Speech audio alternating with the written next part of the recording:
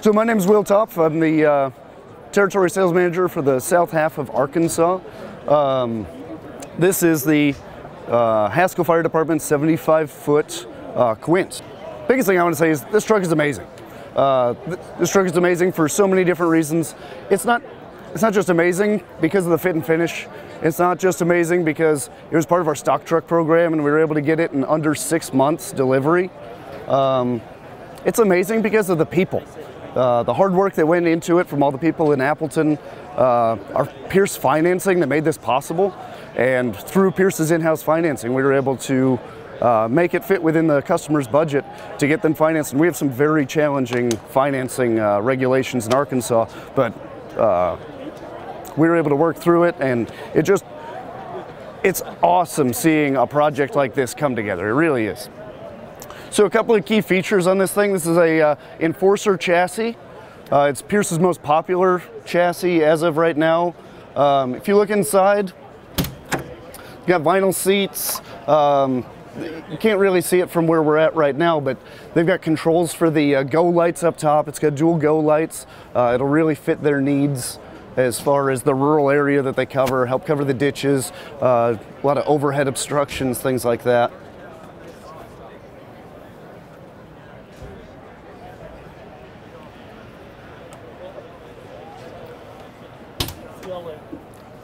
So looking in the back, they did uh, the walkaway brackets for their SCBA seats. That'll make deployment a whole lot easier for them.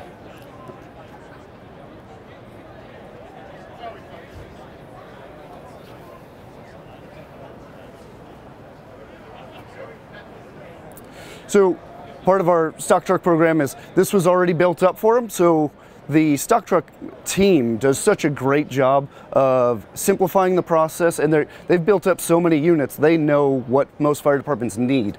So they put a Waterous 2000 GPM uh, pump on this unit. You got your Pierce control zone valves you know it's laid out perfectly uh, it's just nice and clean. Uh, like the way that everything comes together. It's got our proprietary platform that we put on most of our aerials so that when it is jacked up uh, the pump operator's not having to reach way over his head to operate the valves, you know, causing shoulder injuries, things like that. With it being a stock truck and us catching it early enough in the process, we were able to make some changes that made this truck fit to the customer, which was very, very nice. Um, one of them being the tool mounting boards in the back of the compartment. Uh, engineers' compartments typically are just very cluttered. Um, you see lots of valves and adapters and nozzles and things, and without a good way to store it, it just gets piled in there. So adding a mounting plate is a huge benefit. A couple more compartments as we go back. Just tons of storage in this body. Did a couple of custom graphic changes for them. I think it turned out really nice. And if you see the truck now, actually, it's in the short jack configuration. So we've got one outrigger out the other side, which we don't even have to have with it being straight up. But this does show the capabilities. So if you're in a tight, uh, narrow area, narrow road, you know, maybe cars on both sides, this gives you a lot of utilization.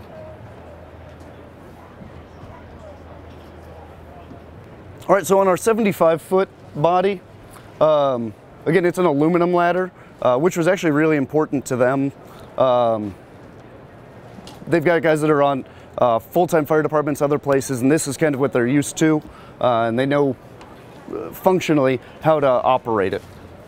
But if you look, the way that our body is designed, you get a really nice ingress egress off of the back of the body here. You got good access to your ladders and pike poles on either side, as well as a super easily accessible aerial inlet that doesn't hang below the body like some trucks do. Um, keeps it protected from uh, any departure uh, hangups or anything like that. Kind of the same story over here on this side, except you can see it with the, uh, the outrigger extended. Again, it's not a super long outrigger. Um, nice benefit of the H-style outriggers is if you have an obstruction or anything in your way, you can you have a lot more versatility with this versus other styles of outriggers.